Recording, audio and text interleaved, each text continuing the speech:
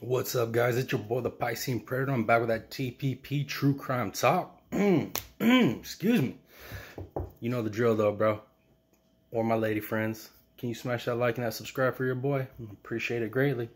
I really would. And if you smash that share, damn, man. What else could I ask for, man? What else could I ask for? But anyways, guys, we'll jump into this topic. Now, the topic for this video... yeah it's that Kohberger. It's that Idaho 4 uh, Bryan Kohberger.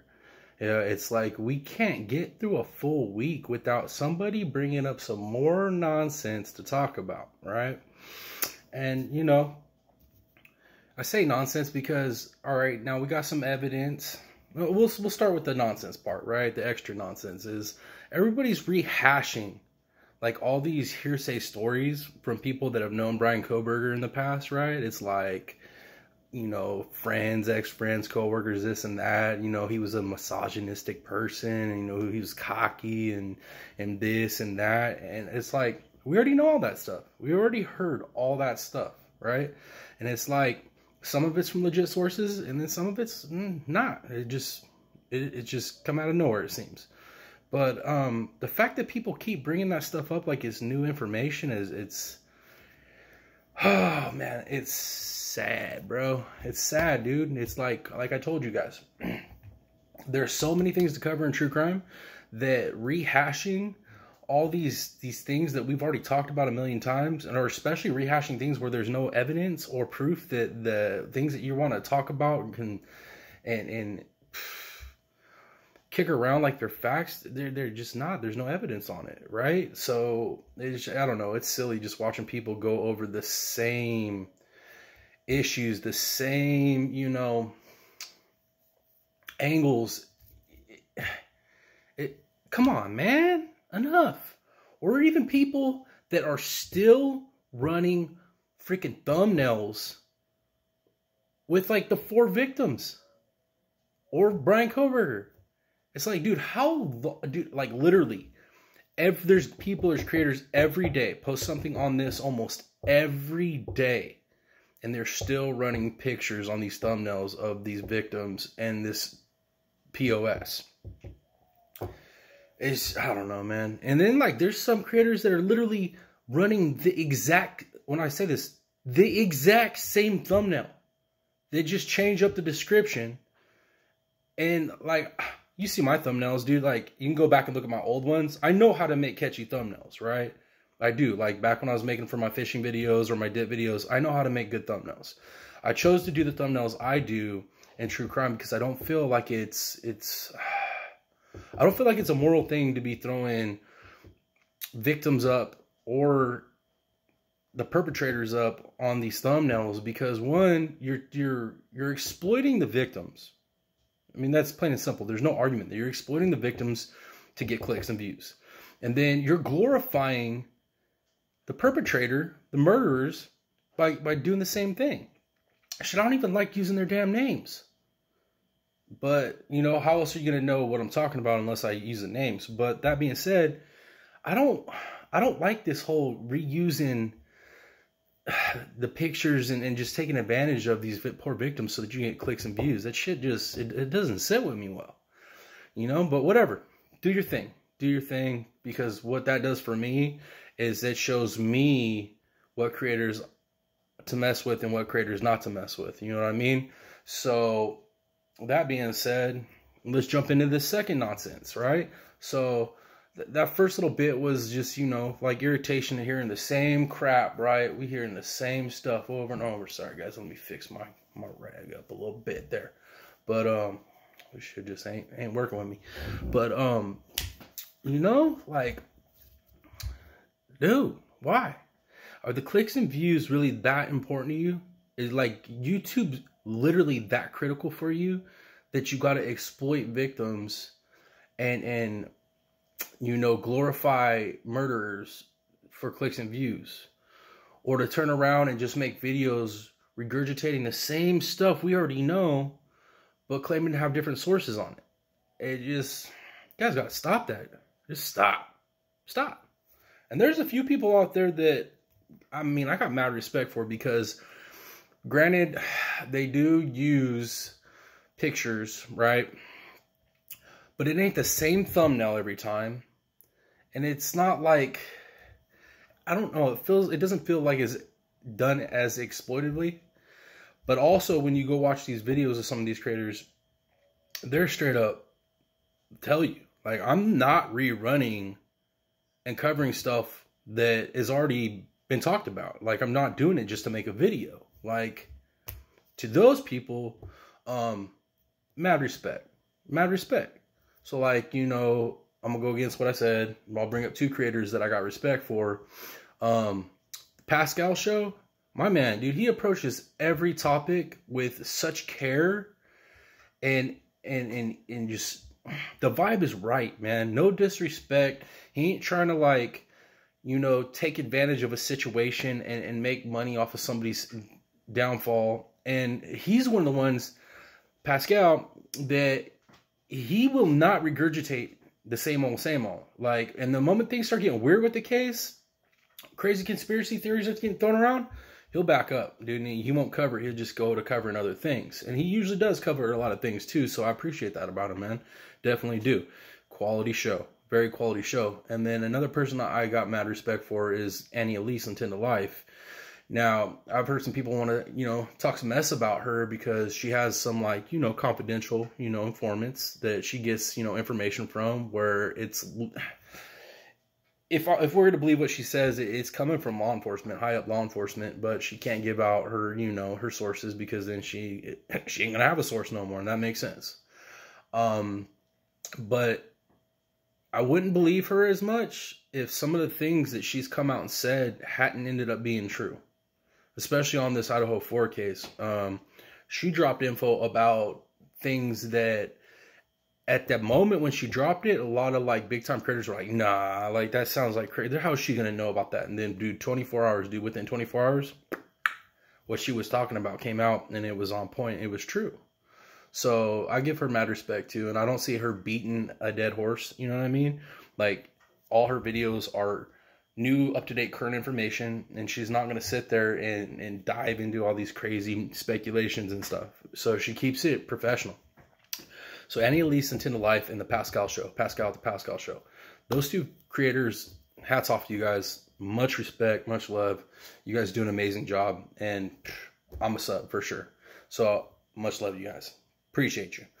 But uh, dude, this second stuff I want to talk about with this case is this whole new information that got brought out, right? So you have a creator named Sleuthy Goosey um, she's pretty awesome. She she is one of those people, kind of like the docket, where they're digging. They're trying to get information, legit information through the courts. You know what I mean? And somehow she uh, managed to figure out that um, Bethany Funk got subpoenaed in another state, and was she was able to find that because of the fact that it wasn't being hidden, like some of the other stuff that's going on with this case is being hidden and we're not finding out until maybe a couple weeks later or at all because I'm sure I'm positive there's a ton of things that we just don't know at all. That being said, um this subpoena, right? This subpoena is for Bethany Funk and it is basically um calling her a material witness, right? And so I, I just listened to about an hour live stream, you know, covering this covering this with, you know, a creator I respect and, you know, somebody else that had brought this to light. So I listened, I listened, I listened, and there was a lot of questions being thrown around, a lot of like angles and speculations being made. But I feel like y'all are missing it, dude. I feel like you're all missing it. One, um, I do believe we're gonna find out that that's defense calling for that subpoena. And I believe that because of the fact that she's trying to fight the subpoena, right? So if it was the prosecution needing her because she was key and, and sealing it all up, I don't think she'd be fighting it. Matter of fact, I don't even think that the subpoena would have to go down that way. So the fact that she's been subpoenaed, she's got a lawyer to fight the subpoena, um, that right there tells me quite a bit. Now, why would the defense want to subpoena her, right? crazy speculations going on all day long on this, right? Like maybe she had something to do with it. Maybe like she was out with Bryan Kohberger and then like, you know, they were out in Washington driving around and then like he came back, you know, in the morning and it dropped her off. And dude, that is the craziest I've ever heard in my life, bro. You all are on some good, good, bro, thinking about like that. Like that is absolutely, there's no way that is what happened. There's no way. And then there's specul, you know, people saying, you know, like, well, you know, we don't really know anything, and a lot of people have forgotten where a lot of information's come from. But if you're one of those people that stay away from the BS information and stick with the factual information and cement that in your head, you ain't gonna forget it, and you're gonna keep developing your idea of this case and, and where it's gonna go based off of things that you know that are facts, facts, right? So facts are that we don't know what she knows. We don't know everything that uh, Dylan knows, right? So, that being said, like, why speculate on it? Why even speculate on it, right? But what I'm going to tell you is, well, I shouldn't say why speculate. You can speculate on it. Go ahead and speculate on it. But why look at it crazy? Like, why start throwing out things like maybe she knew Kohberger, maybe she would went out with him, and maybe, you know, no, dude. I'm gonna tell you straight up. We're gonna find out that the defense, Kohberger, is the one subpoenaing her, right? And what they're gonna do is they're they're gonna go after the investigation. This is how the defense is gonna do this. They're gonna try to debunk this whole claim that he did it based off the investigation. And what they're gonna want to have from her is they're gonna want to know what happened that morning, right? The information they're gonna want to really know, and what they're gonna try to pull out of her is what happened that morning when it got reported, right? Because depending on who was in that house, how it all went down like that in the morning when the, the, the victims were found, and then how the police showed up, how they conducted everything, how they, they interview people, all that stuff, it's going to get dissected by the defense. Because what they're going to try to do is they're going to try to go after this investigation. Just like I told you with the whole Giglio part, this where they're trying to, you know, internal investigation on some of their own people. And now I heard I heard somebody saying like, you know, it was funny that a little bit after this internal investigation comes out, now uh, Funk's getting subpoenaed. You Bethany's getting subpoenaed. Like, and, and not really, not really, because you know, it's coincidental. It's coincidental, and and not only is it coincidental, it's part of the game plan, right? So they put in that investigation, that internal investigation, right? Goes popping, right? Because that's part of setting up the defense, right? Their whole defense strategy, right? So now they got DM. Dude, we already know she's going to be at that trial. We already know she's going to be a witness. Like, to even speculate that she's not going to show up and there hasn't been a subpoena and it's already hasn't been set in stone that she's going to be there is, is wild to me. Like, it's, she's literally a witness in the affidavit. So to think that she ain't showing up is bananas to me. And then, you know,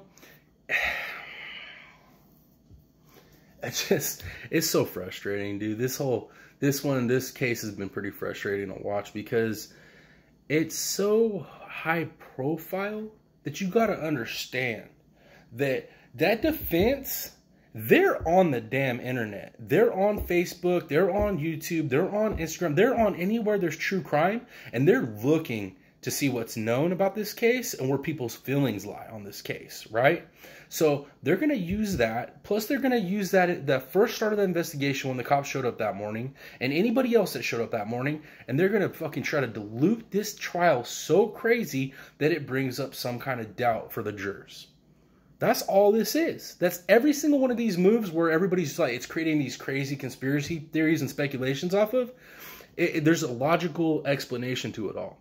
But instead of like stepping back and just looking at it, okay, so for instance, that, that subpoena came out right. Did I do a video right out the gate on it? Nah, dude, I went and looked at it. I went and looked at it, and then I, I kind of like thought about it and milled it around in my head, and then I went and started checking out some people that I respect on how they think, people that are actually, you know, lawyers, people that, you know, actually know what the hell is going on on a legal level. And um yeah, man, they all I think they're all pretty much in the same boat. Is like this is just a strategy for defense. is they want to bring her in and then they're probably going to ask questions to make it seem like there's a possibility that Kohberger could have been at that house at some point in the past for, you know, like they're going to create something to where there's doubt on whether he had been there before because had he been there before, it would give, you know, a little bit of, you know, doubt on was he actually the one that did it. Now, was he the one that was there that night and did it? Or could have his DNA popped up from, you know, a prior visit? Like, there's all kinds of different angles the defense can use as soon as they get her in there. So, in my opinion, that subpoena is coming from defense, not prosecution. Because, like I said, if prosecution had set this up, I don't think they would even have set it up. I think prosecution straight up would uh would already have her lined up. Like, so to me, it doesn't make any sense that this late in the game after that whole internal investigation thing pops off, but now they're they're gonna go try to get the other surviving witness to come in, right? So they can use whatever angles they're gonna use, more than likely to uh, you know create some doubt. These these speculations I'm hearing about, like maybe like you know Bethany knew Kohberger or maybe hung out with him. Bro, no, no, no, no, no, no. It's like I when I sat and listened to this last uh, live over an hour, it was like literally all the speculations or thoughts, you know, that were being thrown into it. And granted, the live that I was watching is somebody that I do follow and I do respect, and he did put a disclaimer out, like, hey, this is speculation time, so this ain't this ain't legit. And I, I respect that because I do the same thing on my channel. You guys know, like I speculate, but you guys all know it's just off of my opinion. I'm not saying I'm right 100, but you know, you could read between the lines on what I'm talking about and what makes sense. And uh, yeah, this one, I'm gonna come down and just my opinion, my hard opinion on this, straight up, is that's defense that subpoenaed her, and they're gonna bring her in so they can create some doubt in the whole investigation, right? Because if they can create doubt from that very first minute that the police got there, or even stuff that happened before the police got there, they're going to be able to create some kind of doubt in the jurors' heads. That's what they're going to shoot for. So, like, literally, all the defense has are these crazy tactics. They have nothing. They have nothing. Nothing. 100% nothing. Because if you're already seeing these tactics happening before we even get to trial, all these weird, like, why is, what? It's because defense is struggling. Dude, they're going to start throwing every Hail Mary they can, every long shot possible to try to create doubt. Is what it is, guys. There, there's no mystery behind this. I know everybody's waiting for um, this information that Bethany or Dylan either had something to do with it or knew stuff. And I'm telling you right now, y'all gonna be disappointed because those girls didn't know nothing. Ain't nobody knew nothing. Nothing. And then there was some talk about like, you know, people forgetting facts, you know, like, oh, people think are like remembering wrong that Bryan Kohberger pinged in the area during the murders. No, he didn't. No, he didn't. He pinged before and after the murders, right? He, he pinged in Washington and then he pinged in the uh, in the morning, but he didn't he didn't ping during the murders, right? So some people are speculating that it's because he dropped somebody off and then he came back in the morning and picked somebody up. Bananas, bro. Bananas. Absolutely crazy, dude. It's like some people got way too much time on their hands and some crazy, like y'all watch some crazy stuff because your imagination be all over the place. Like, like this is Black Mirror or something. I don't know, but uh, yeah, dude, that ain't what it is, guys. I'm telling you, it ain't what it is. And yes, he didn't ping in that location during the murders. He pinged in the location after the murders and, prior to the murders. But the big thing on those pings, what you guys are all missing out on too, and not thinking clearly on, is the fact that the pings put him in the area, but Bluetooth devices connecting to his device is what put him very close to that location. Think about it. How close you got to be to a house for the Bluetooth devices to pick up your phone? Pretty damn close. That's all I'm saying. Close enough to be watching people and what they're doing. That's for sure. That is for damn sure. But yeah, guys, man, it's this case, man, this case, like I said, this case right here, though, I'm kind of glad it's happened. I'm kind of glad it's gone down the way it's been going down. And hopefully, honestly, even though it's kind of irritating and I feel the need to jump up here and kind of like, you know, break things down for it. I mean, because that's what I'm gonna do anyways. I hope it actually keeps happening like this because it literally is thinning out my list of content creators that I follow, right? Because it's like, for for some reason, with all the crazy stuff that's going on in the world, like the the amount of insane crimes that are happening right now are happening at such an, a crazy speed. There's so many things happening every day that there's plenty of stuff to cover.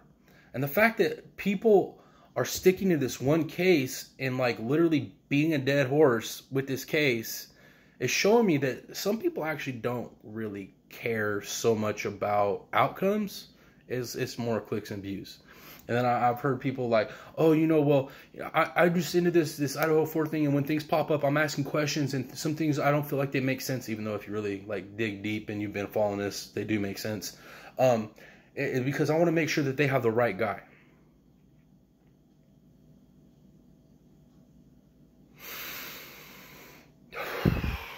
Bro,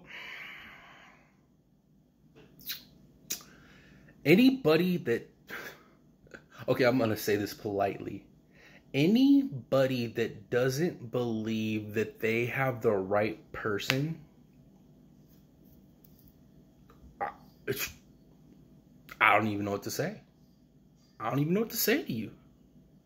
Like, you for real, like, there's people out there for real think that there's a possibility even a slight one, that they don't have the right guy? There's people out there that believe that? What the fuck? Oh, that's crazy, guys. Can you wrap your mind around that? That um after everything they've found, after everything that we actually know about, and think about this, we only know 5 to 10%, right? we only know 5 to 10% because law enforcement is going to hold everything back, right? So, that being said, that 5 to 10% that we do know, if that ain't enough for you, bruh, come on. And then let's think about this too, right? Like, some of you actually are denying the DNA evidence is real.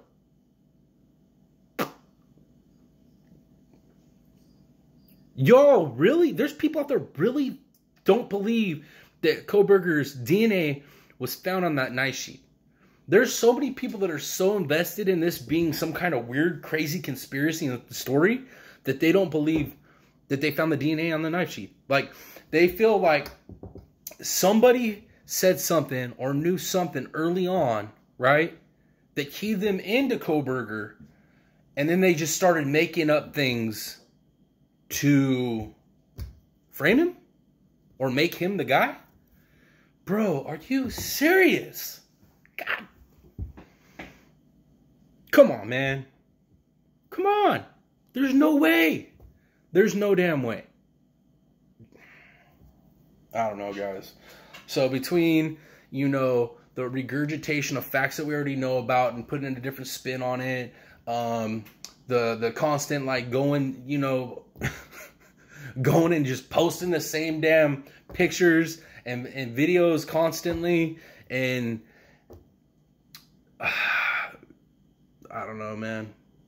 I don't know. It's crazy, dude. It's crazy, but it is definitely helping me weed out the content creators that I do need to follow from the ones that I don't need to follow. And then hopefully it's doing the same for y'all too. Hopefully you guys are paying attention to the ones that are staying, you know, credible and, and moral and having some integrity in this. So, uh, yeah, so you don't have to keep getting updates from creators that don't really matter. That being said, guys, that's uh that's my thoughts and my opinions on this on this whole Idaho 4 Kohberger situation, right? One, there ain't nothing new besides the subpoena. That's it. And what's this subpoena mean? Nah, she don't know anything, bro. She don't. She might have seen something in the morning when she had to, you know, wake up and leave. So yeah, speculations of her not seeing absolutely anything might be wrong. So she might have seen a dead body. She might have seen some blood. But outside of that, What do you want from her? Girl came home from a party, went to her room downstairs, didn't come back out until the morning time, and then all hell broke loose. So, what information could she have for prosecution? I mean, uh, nothing really. But what could she have for defense? Well, that's simple. She's going to have information of all the people that showed up. She's going to have the information of exactly what went down that morning before the cops got there. And she's going to have information of what happened when the cops got there, right? And that's the important information the defense wants to know because that's how they attack the investigation. That's what it is, guys. That's all this subpoena is. It's defense. And it's part of their tactics. Everything else, just more hearsay, just BS garbage. Just something for people to keep making videos on this so they can keep getting clicks on this instead of going out and looking at all these different cases that are going on, especially little missing kid cases, dude, because there's a lot of those. Like I was saying dude, the other day, our uh, the true crime community, if you're paying attention, it has a it's a direct reflection of what's happening in society. So it's like all this crazy stuff you're seeing in politics and the social realm, right? All that insane instability you're seeing. That's the reason you're seeing more crimes more heinous crimes. Bro, you don't even want me to get into. Maybe I will. Maybe I'll do a whole nother video on uh on the correlation between this whole woke feminism movement and these women killing kids. Tell me there ain't a correlation between that. You're dead wrong. Dead wrong. Absolutely. All right, guys. But um, before I get fired up and go into a whole nother topic, we'll go ahead and wrap this one up. So that's where I'm at, guys. The subpoena just is a, it's a defense thing, and there ain't nothing that's going to come from her besides information the defense might use to mess with the the whole investigation. You know what I mean? So uh, that being said, I'm gonna go ahead and wrap this one up, and uh, hopefully you guys enjoy it. Uh, if you don't, I'm sorry. If you do, awesome. Either way, though, whether you have a negative comment, a good comment, hit me up down in the comments and let me know. But, uh, yeah, guys, it's your boy, the Piscine Predator. Till the next video. Much love, y'all. Peace.